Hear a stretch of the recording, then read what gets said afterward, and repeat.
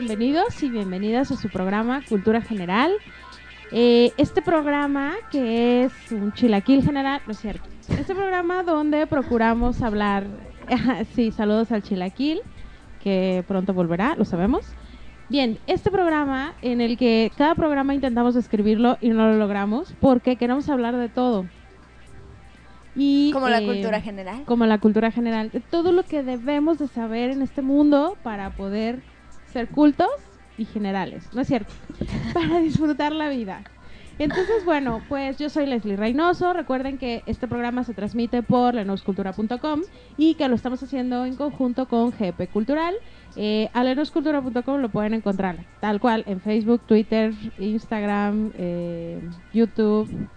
mm, ¿Qué más? Y así en todos lados. Y así en todas las redes sociales. No es cierto porque no estamos en Snapchat, porque ya estamos muy viejos para Snapchat y no lo entendemos.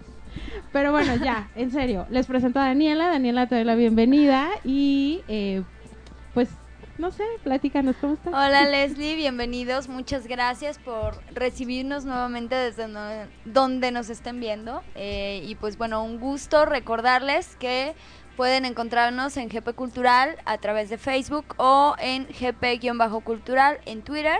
Y bueno, eh, hoy estamos en un programa eh, que creo yo que se va a poner bastante interesante. Eh, tenemos a un, a un invitado eh, que él es Mojo, ¿sí? ¿Te presento así? Como, Sí, tal cual, claro. Mojo. Sí, sí. Él es artista plástico y bueno, nos viene a platicar eh, de su próxima exposición, pero yo le dije no quiero que vayas y hables nada más de la exposición, sino que nos contara un poco de su trayectoria y, del tipo de obra que él realiza porque trabaja con un material que al menos a mí, que igual no estoy inmersa en las artes plásticas este, tanto, pero me parece que no es un material que eh, sea muy ¿Común?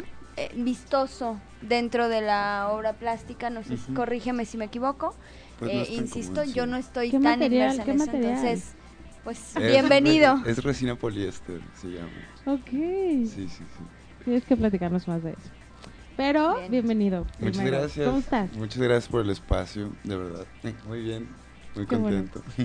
Qué Bien. bueno, eso nos gusta, que estén contentos. Pues cuéntanos eh, un poco de, de- Me gustaría que nos contaras un poco como de tu trayectoria para ir entrando en materia y de ahí ok. te vamos como...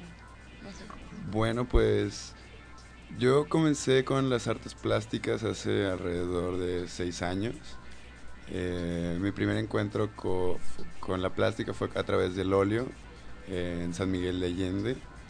Ahí, pues primero llegué a vivir ahí un tiempo y la manera en la que aprendí fue de, cierta manera como autodidacta y de otra manera como aprendiz. Estuve trabajando para distintos pintores en un lugar en San Miguel de Allende que se llama La Fábrica La Aurora. Y es un complejo de 23 galerías, más o menos.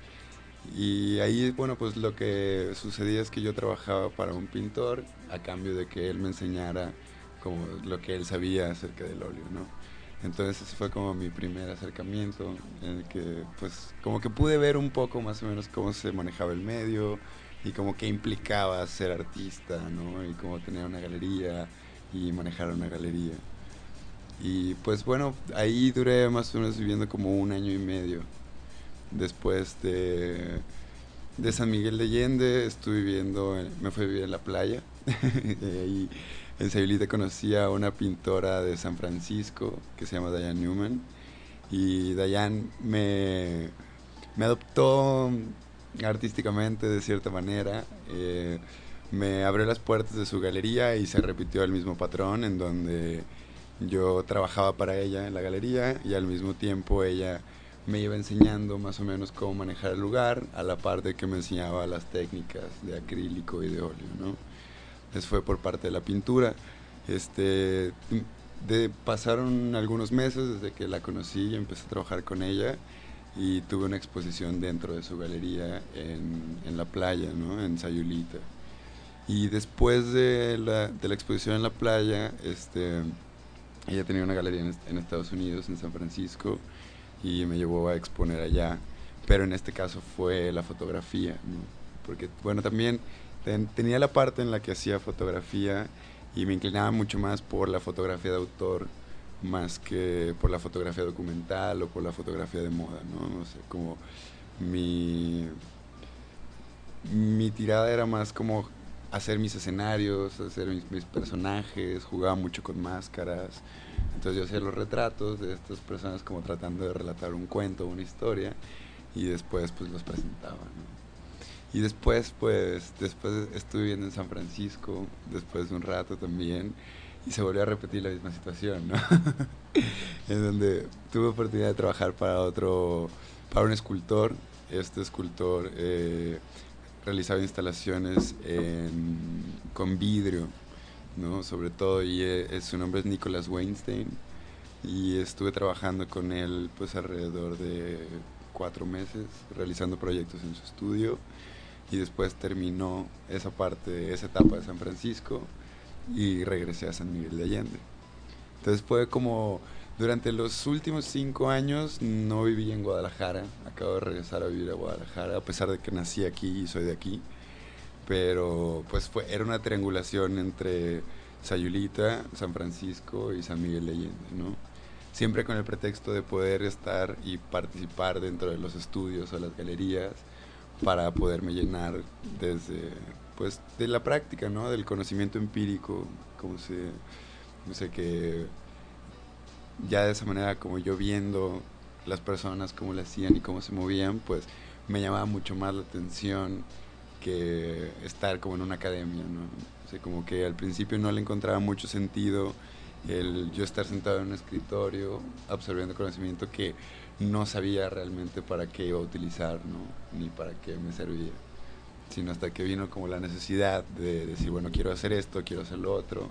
Entonces ya puedo buscar a quién no sé, como a quién aprenderle, ¿no? Como esas cosas. Y pues sí. wow. A ver, es que tengo muchas preguntas, pero eh, no sé, uno, ¿cómo andamos de tiempo? Porque no quiero irme como con mi rollo y, y no no abundar a lo que venimos. Claro, claro. Date, date. Porque, ajá, porque está bien, me voy a dar y luego ya, y luego ya platicas eh, de tu exposición. Vale. A ver, es que creo que eh, viviste o estás viviendo el sueño de cualquier persona que quiera ser artista, para empezar. Creo yo, porque generalmente nosotros eh, tenemos un sueño y ese sueño está guiado por alguna persona que admiramos.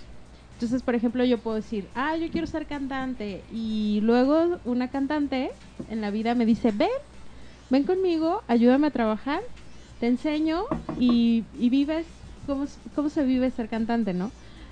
O sea, es el sueño de todo el mundo.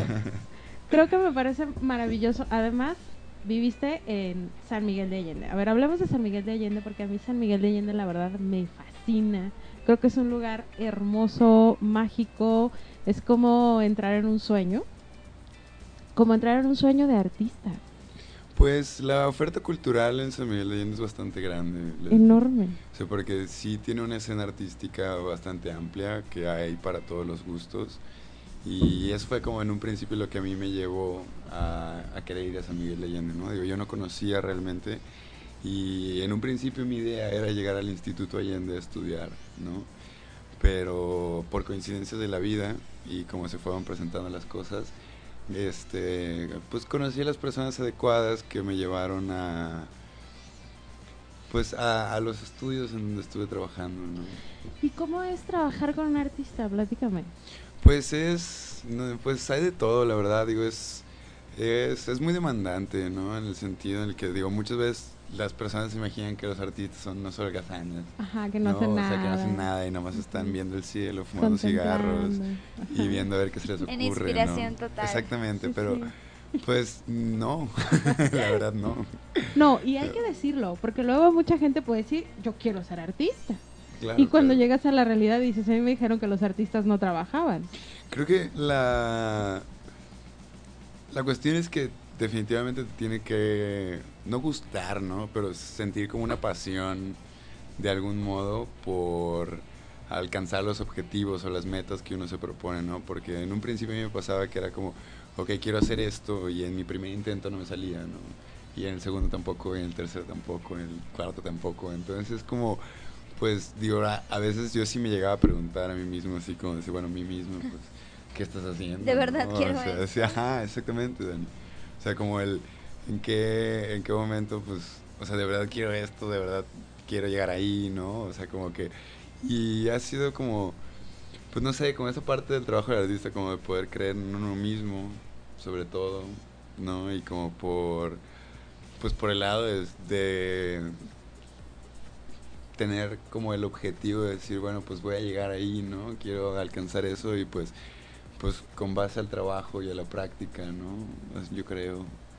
Pero además, después de todo lo que nos cuentas, a mí me encantaría saber cuál es tu trabajo, ya tu trabajo individual, que es el que al que nos vienes a invitar para, para conocerlo, porque eres una persona con muchas vivencias de muchos lugares, de muchas culturas, de, de, de y luego de formas que no sé, a ver, quiero creer que en todos los lugares donde estuviste hay una gran influencia artística, Sí.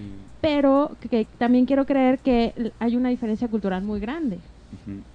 Entonces, a mí me gustaría conocer ya qué es lo que tú qué es lo que tú trabajas, ya cuál es tu obra, porque además estás influenciado por eh, pintores, por escultores y por fotógrafos, Sí, así es. y, y eso puede ser demasiado interesante. Pues mira, Leslie, en, en el caso concreto de esta exposición que voy a tener el próximo 13 de septiembre, eh, voy a presentar una escultura, ¿no? Es una serie de seis piezas y pues todo comienza como en enero, ¿no? Como ah, yo empiezo a hacer el, el recuento de mi trabajo del año pasado, ¿no? Entonces me doy cuenta que hay como una sobreproducción sin un sentido, ¿no? Como que hay un valor estético muy alto, pero al mismo tiempo como que mi discurso es muy pobre, ¿no? Y como que muchas veces no, o sea, por la cuestión de resolverme la vida para pagar mis, mis, mi renta, mis gastos y etcétera, etcétera, como cualquier otra persona, este, las intervenciones que hacía las hacía nada más de momento, ¿no? O sea, en cuanto a que era para un restaurante en específico, ¿no? O sea, o que era para una pared en específica en tal lugar, ¿no? Entonces, esta escultura nace a partir de eso, ¿no? El, el momento en el que yo me siento a, a pensar y a ver cómo está mi situación, ¿no? Y me empiezo a preguntar a mí mismo como, ¿cómo me veo dentro de 10 años, ¿no? O ¿cómo veo mi carrera dentro de 5 años, ¿no? Y entonces es cuando, pues, por medio, del, o sea, por medio de, de la escultura viene este planteamiento, ¿no? O sea, que a fin de cuentas la escultura como tal que voy a presentar, que se llama El Niño, este, es, es un momento, a fin de cuentas, es, un momento en el que el niño está, está pensando y, se está preguntando a él mismo como estas cuestiones, ¿no? Respecto a, pues sí, o sea, como a, su futuro y cómo, y cómo ha sucedido su pasado, ¿no? De acuerdo a eso. Fíjate que ahorita que mencionabas esto, en, en un documento que con el que él está eh, proyectando. E- esta obra, ¿no? que es como el, el, vamos, el dossier que se está mandando, me gusta eh, que lo pusiste así tal cual como es un momento que retrata el autocuestionamiento por medio de la introspección y de repente pones aquí unas eh, preguntas que me parecieron como bastante curiosas porque es cómo te percibes, eh, cómo te perciben los demás artistas, qué quieres comunicar con tu obra, qué vas a hacer con tus habilidades, creatividad y manuales, qué nivel de profesionalismo tiene tu trabajo y dónde te ves en dos, tres, cinco, ocho años. Me llama la atención porque, pues, yo creo que son las preguntas que a todos nos hacen, inclusive en este tipo de espacios, ¿no? O sea, vas a una entrevista y entonces que, ay, sí, buenas tardes, este, bienvenido al programa y, oye, ¿y cómo te ves en cinco años? ¿Y qué piensas de tu obra? Y- Pero yo creo que cada vez de repente nos encontramos con gente que le cuesta más trabajo contestar estas preguntas de manera, eh, en una introspección real, pues que, que estamos ahí, em, como que nos falta un poco, ¿no? Vernos a nosotros mismos y saber, no lo que los demás dicen, en este caso, de, de la obra, ¿no? Sino Claro. qué estás queriendo decir tú en la obra. Me parece eh, muy lindo desde cómo te presentaste, ¿no? Que fue diciendo, esta es mi trayectoria. Así empezó mi curiosidad en las artes plásticas y reconocer que trabajaste ¿no? con otros artistas. Porque de repente a mí me da un poco de risa que, que en el género cultural pues pareciera que nacemos actores este que no le debemos nada a nadie, nacemos este músicos que no, yo agarré la guitarra y aprendí a tocar así, mira, tres patadas. Y sí existen, existen estos genios, pero pero vamos, o sea, de repente todos lo agarramos ya como condición de vida, ¿no? Como no puedo decir que a mí me enseñó una persona porque pierdo, ¿no? Esta calidad de artista. Fíjate, Daniela, que te voy a interrumpir para irnos a un corte, pero antes de eso, respecto de lo que estás diciendo y regresando al corte, retomamos este tema, me parece muy interesante, que hace unos días vi un gráfico en Facebook que decía, sé auténtico y no original, porque no existe la originalidad. Y entonces dice, eh, cómete todo el mundo, ¿no? Lee, ve películas, escucha música, vive, disfruta, conoce, platica. Y luego, ya que conoces todo el mundo, o que intentas conocerlo, entonces ya haz tu obra eh, con lo que a ti te nazca, con lo que tú sientas que es percibido y que te haya quedado de todo esto que absorbiste. Y eso es ser auténtico. Creo que es un punto muy importante el que tú tocas y creo que esto este gráfico lo describe perfectamente y que además parece que estamos describiendo, describiendo tu vida. Pero vamos a dejarlo aquí, vamos a un corte y regresando tomamos retomamos este tema.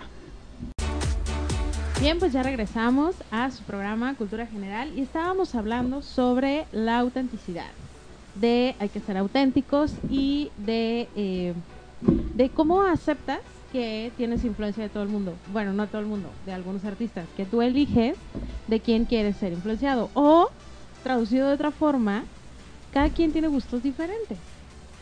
Y luego, no importa que tú y yo tengamos los mismos gustos, porque nosotros lo vamos a percibir de diferente manera y vamos a crear de diferente manera, ¿no? Claro, Claro. sí, sí, sí. Entonces, me, me parece súper interesante, insisto, eh, lo que nos has platicado, porque es parte como de tu proceso creativo. Sí, claro, completamente. Pero yo sé, porque Paco me está haciendo ojos, saludos Paco que está en los controles, que quiere que te pregunte algo y sí me encantaría preguntártelo. Dime. Eh, pero bueno, a ver, antes que nada, porque seguramente se nos va a ir el tiempo y nos vamos a, a enfrascar aquí en esta plática, invítanos a tu exposición, cuándo, dónde, eh, redes sociales, todo. Mira, la exposición va a ser, Leslie, el 13 de septiembre a las 8 de la noche, es un miércoles. Aprovechando, digo, el proyecto se llama El Niño y coincide con que es la efeméride de los niños héroes, por, por ejemplo. Ok, muy bien. Y bueno, va a estar muy padre en el sentido de que, como es una pieza la que voy a presentar, que de esa pieza hay seis copias, es una gradiente en colores que va de blanco a azul. El azul yo lo escogí porque habla acerca de los sentimientos y de las emociones. En- yo voy a desarrollar la experiencia de la exposición como tal en cuanto a compartir un poco mi proceso creativo, ¿no? Y cómo fue que yo llegué a las conclusiones a las que llegué al momento de presentar la pieza, ¿no? O sea, como generé un tipo de material visual que se llama abstract, que en, en ese abstract es donde yo, con palabras concisas, explico una idea general de cómo es que llegué a, de qué se trata el proyecto, ¿no? Entonces digo, yo soy muy manual, la verdad, a veces me cuesta mucho trabajo eh, meterme en la computadora y moverle las cosas, ¿no? Entonces, por lo general hago todo esto en papel. Entonces, por ejemplo, van a poder ver las- los asistentes a la exposición, van a poder ver cómo es que yo llegué al abstract, ¿no? Cómo utilicé el ejercicio de campos semánticos y a partir de los campos semánticos cómo jerarquicé, ¿no? También van a poder ver los bocetos en los cuales yo me basé para poder hacer al niño, ¿no? También van a poder ver una pequeña instalación de porque el niño digo, el niño está sosteniendo un globo, ¿no? Entonces, este globo es un poliedro son unas figuras ahí que se llaman los sólidos platónicos, que estas figuras son las cinco sólidos que todas sus caras son iguales. Entonces ustedes en la exposición también van a poder ver cómo es que yo llegué a la conclusión de los sólidos platónicos, ¿no? Y bueno, pues va a ser parte de compartir apuntes, notas, bocetos y las piezas como tal este, a la exposición. La exposición va a ser en Estudio Libertad. Estudio Libertad está en la Corona Americana, en Avenida Libertad, 1687. Eh, digo, de todas maneras pueden encontrar la invitación en mis redes, en Instagram, que estoy como El Pájaro Campana, y en Facebook también, que estoy como El Pájaro Campana o como El Mojo Rodríguez, y también en la página de Estudio Libertad en Facebook. Excelente, pues ahí está la invitación, que me encanta, porque también es como es como una película y el detrás de cámaras de la película. Claro, claro, claro. Que eso puede ser fascinante porque a veces pienso que las personas, las que no valoran o no entienden o no quieren entender el arte, pero que está padre que se acerquen, eh, lo entenderíamos mucho mejor si viéramos el trabajo que hay detrás de algo. Pues es poner al artista en desnudo, ¿no? Exacto. Vulnerabilizarlo a mí, por ejemplo, me encanta que de pronto estás en el cine, vuelvo al ejemplo del cine, y hay una persona que te dice, qué hermosa fotografía. O sea, es que, y alguien que no sabe o nunca se ha interesado es así como, eh, pues, está padre, ¿no? Pero cuando le explicas todo el proceso que lleva y, todo lo que necesitas para lograr ese momento, por ejemplo, hablemos de un atardecer con esa naturaleza, con ese color, en ese lugar, en ese momento, con, todo lo que hay detrás. Entonces dices, hasta se te enchina la piel y dices, qué, qué hermosa fotografía. Y, y, creo que al decir qué hermosa fotografía, estás diciendo qué hermoso proceso para llegar a esto, ¿no? Y me parece padrísimo que vayas a presentar todo esto. Ahora ya me están haciendo ojitos. Ahora sí te pregunto. A Paco le encanta preguntar, y es una pregunta que a mí me fascina que la haga, es, eh, eh, ¿en qué momento de toda tu vida, y, vayámonos hasta tu infancia o a tu adolescencia, o en, en el momento clave en el que tú hayas decidido, quiero ser artista, ¿y qué fue lo que te llevó a decidir eso? Pues mira, es tengo un, un, tío que la verdad le, agradezco a, la vida de, que haya estado conmigo desde, desde que yo estoy chico. Él es arquitecto y desde que yo estaba pequeño, él me ha influenciado bastante, ¿no? En, en cuanto a pláticas, en cuanto a situaciones que yo le compartía que iba viviendo y que iba teniendo, ¿no? Conforme iba creciendo. Y en una de esas pláticas, normalmente nos juntábamos los miércoles a comer en su casa. Yo tenía, no sé, como quizá unos 12 años, 13 años, ¿no? Este, y en una de esas pláticas, este, estábamos hablando acerca de la libertad, ¿no? Entonces, él, de repente sale el tema del arte, ¿no?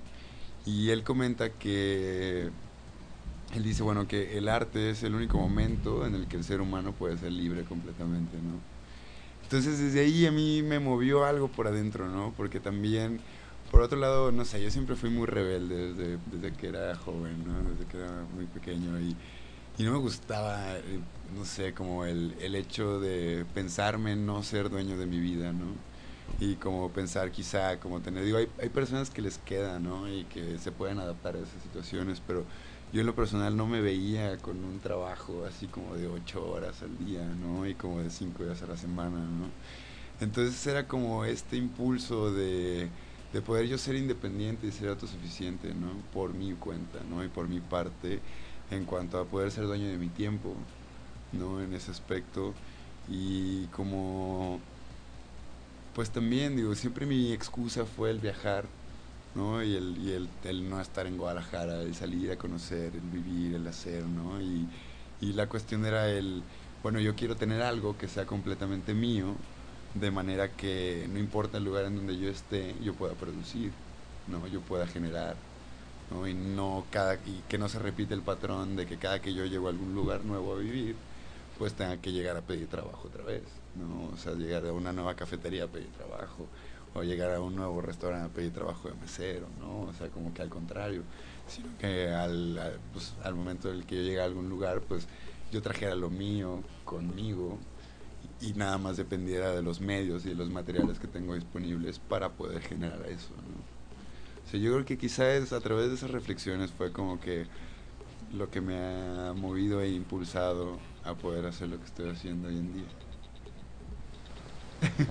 Acabas de matar a mucha gente. Nos están llorando, ¿no? Sí.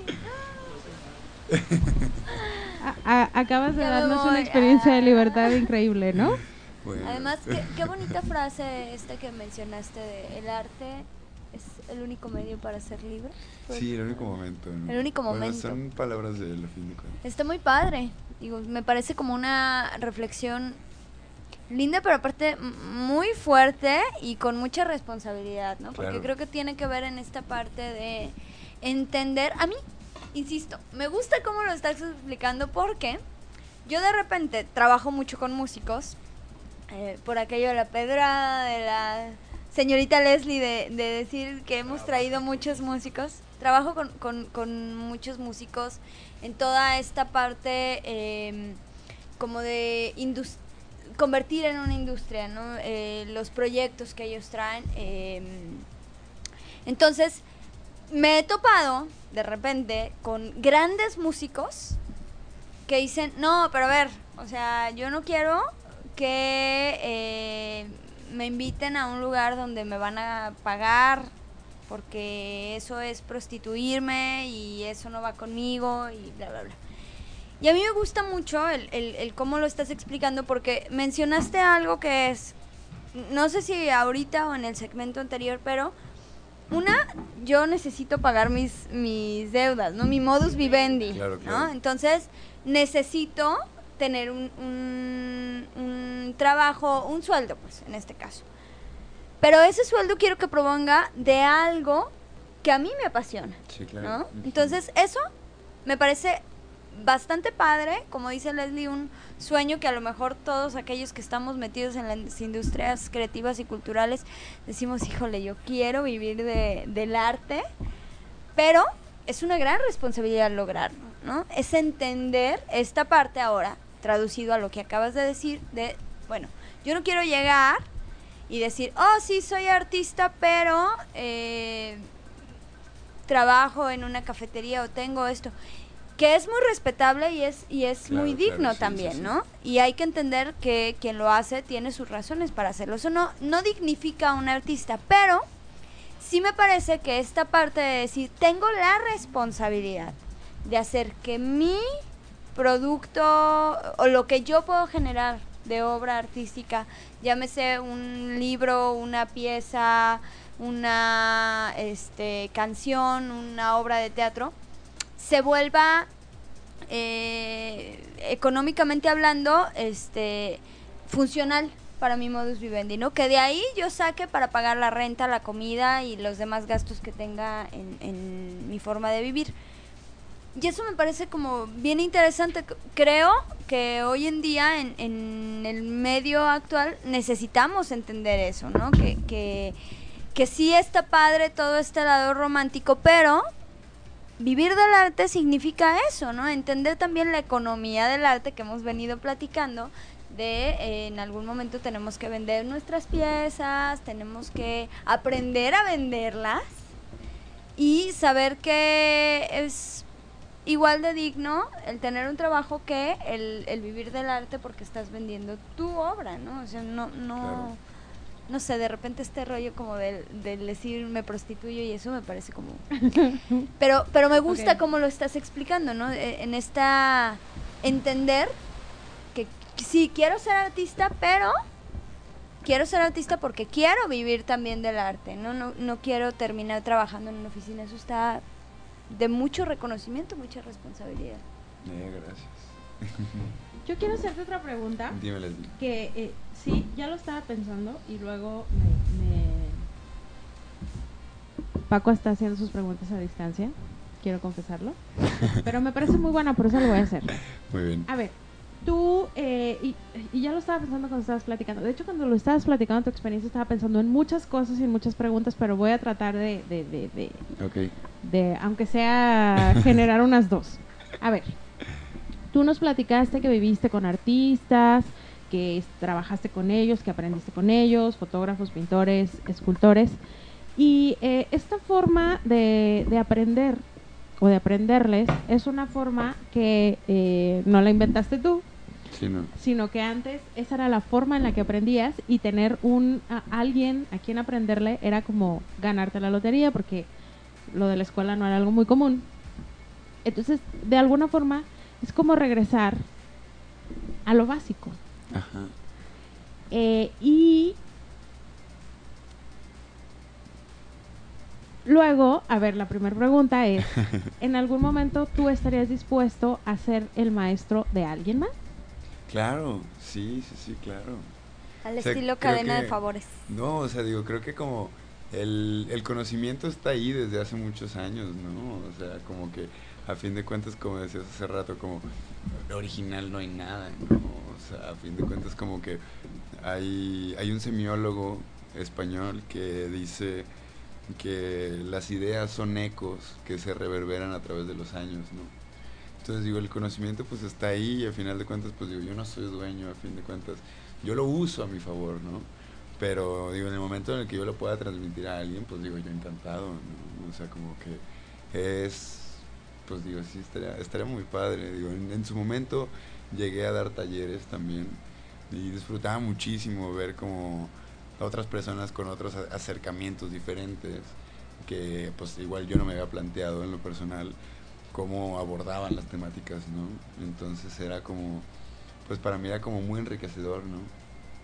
Pero además yo soy de las personas que piensa que, eh, que la escuela está hecha para unas personas y la forma en la que tú estás, que tú hiciste tu proceso eh, está hecha para otras personas. Yo personalmente creo que yo sí tengo que ir a una escuela y, sentarme con un maestro y estar como, como ahí atenta, porque luego soy la, persona que procrastina más en la vida, entonces no podría. Pero tú eh, ¿Crees en eso o crees que todo el mundo somos capaces de aprender de esa manera, de la que tú aprendiste? Pues miren, no sé, o sea, como... Pues las capacidades son, o sea, a fin de cuentas son infinitas, ¿no? Uno decide hasta dónde quiere llegar y cuándo lo quiere hacer, ¿no? En mi caso personal, o sea, yo digo, conforme han pasado los años, sí me he replanteado, la verdad, no te voy a decir que no, como la parte de haber asistido a la academia, ¿no? Porque eh, el proceso en el que yo me metí, en el que yo he estado, implica mucha frustración también, ¿no? Implica como mucha pues sí, o sea, como darte topes en la pared al momento en el que no te salen las cosas, porque pues estás tú haciendo el experimento tú solo en tu taller, no tienes nadie que te retroalimente, entonces pues es como que dices, no manches, o sea, o sea, ¿en qué momento voy a poder, no sé, alguien me va a decir, ¿sabes qué? Aquí está la falla, ¿no? O sea, y entonces como que eso me ha obligado de cierta manera a tener como ser más consciente de mis procesos, ¿no? En cuanto a generar mucho más apuntes, generar notas, generar formularios, o sea, generar como ese mismo registro que documenta los avances, ¿no? Entonces, al momento en el que hay una equivocación o hay un error, ya me puedo regresar y ver en dónde fue que fallé, ¿no? O comparar. Pero digo, esto lo he aprendido a final de cuentas, pues dándome de topes en la pared, ¿no? Sí, es que bueno, hiciste algo como prueba y error, prueba y error y, aprendiste de los errores. Sí, claro, o sea, y, siento que, por ejemplo, la, la, academia lo que tiene es que te da un oficio, ¿no? O sea, como que te da esa disciplina que necesitas como artista para poder estar ahí todos los días pegado al medio que te gusta para desarrollarlo y explotarlo al máximo, ¿no? O sea, pero, no sé, tanto por un lado como el otro, que en lo personal siento que a mí es lo que más me ha costado, ¿no? Como a través de mi proceso el, el tener la disciplina suficiente que se necesita para estar ahí todos los días a la misma hora, ¿no? Y decir si son seis horas las que le voy a dedicar, son seis horas las que le voy a dedicar, ¿no? Porque pues no es de que voy a abrir el celular y voy a meterme a Facebook 10 minutos en lo que se seca esto, ¿no? O no es de que, ay, espérame, déjame, vengo a hacer un sándwich porque ya me dio hambre, ¿no? O sea, digo, sí, pues para todo hay momentos, ¿no? Pero a fin de cuentas es como, tengo que ser el doble de, de consciente de lo que estoy haciendo, ¿no? Como para no, pues para poder obtener resultados, ¿no? O sea, y no prolongar las cosas tanto. Exacto. tocaste un punto muy importante que es la disciplina. y que por eso yo tengo que ir a la escuela. Soy muy, muy indisciplinada, pero bueno. Este, Daniela, ¿quieres hacer alguna otra pregunta? Porque nos queda un minuto, o sea, es una pregunta de 15 segundos. Pues nada más, más, más que pregunta es como un comentario que justo aportando a esto, creo que también algo que es eh, de mucho valor y significativo es esta parte de eh, de repente no quedarte nada más en lo artístico, ¿no? Digo, yo a Mojo, por ejemplo, lo conocí en un curso que tomamos juntos que era enfocado a los patrocinios. Y de repente decimos, bueno, pues el artista que... Y no significa que tú lo vayas a hacer, pero sí me parece como bien interesante de tu trayectoria el involucrarte en otras áreas, ¿no? como en entender, bueno, ya hice la pieza, ahora, ¿cómo le hago para moverla, para exponerla, para venderla, ¿no? y cuántos, por ejemplo, cuántas eh, piezas voy a hacer, ¿no? Eh, porque de repente hasta eso es como un, rollo. Yo nada más quería saber, ¿por qué seis? O sea, ¿por pues seis me, me pareció un número adecuado en cuanto a que no era sobreexplotarlo y a fin de cuentas son piezas de colección, ¿no? Entonces yo siento que si hacía más de seis era como el el sobrevalorarlo, ¿no? O sea, como que pues entonces ya hay, hay tantas, pues entonces qué valor puede llegar a obtener una de esas, ¿no? O sea, que todas no son copias, que por favor vayan a la exposición, se van a dar cuenta que no son iguales, de cierta manera, cada una tiene un elemento distinto. Y pues bueno, digo, muchas gracias a todos los patrocinadores que me están apoyando en este proyecto también. Nombres. Gracias a los... Ya están patrocinando. A los, a los también gracias a, Estudio Libertad por darme el espacio, a GP Cultural y a Luz Cultural por recibirme. Muchísimas gracias. Hombre, pues gracias a ti por venir. sí, exacto. Gracias a ti por venir y por compartirnos esto porque creo que también este es un valor agregado de quien está interesado en ver la exposición, que conozca un poco más al artista, que eso es súper interesante. Y bueno, pues asistan eh, el 13 de septiembre a las 8. de la noche, Casa Libertad. Estudio Libertad. Ok. Entrada libre, también importante mencionarlo porque de repente... Sí, y, y que además vayan, no tengan miedo, si nunca han asistido, no importa, ahí vamos a estar, nosotros los guiamos, no es cierto, no hay guía, hay que ir, ver, decir o pensar, me gusta, no me gusta, lo disfruto, no lo disfruto, lo vuelvo a hacer, no lo vuelvo a hacer, eso es todo, no, no tiene ningún otro secreto, ¿no? Exactamente. Y por supuesto que si está el artista y lo quieren conocer y lo quieren cotorrear, pues adelante. Por favor. Muy, bien, bien, pues ahí nos vemos el 13 de septiembre, muchas gracias. Eh, por estar aquí. Gracias, Daniela. Gracias, Mojón. Nos vemos la semana que entra. Bye.